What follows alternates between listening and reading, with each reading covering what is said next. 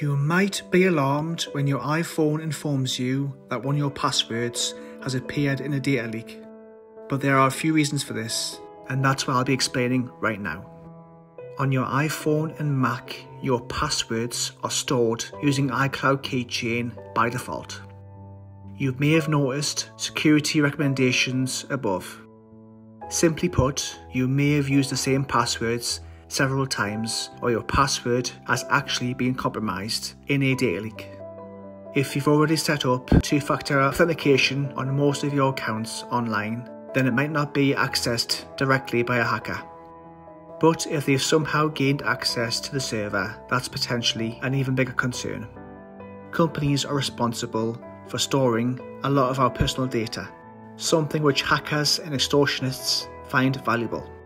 Data surpassed oil as the world's most valuable resource.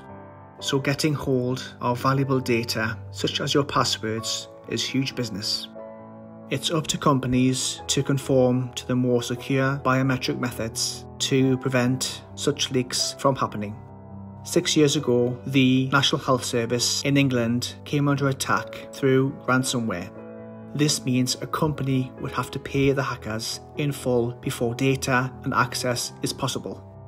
All you need to know is that when a recommendation or leak is present on your device, change it immediately and just hope the company or website storing that data is doing all it can to protect your data.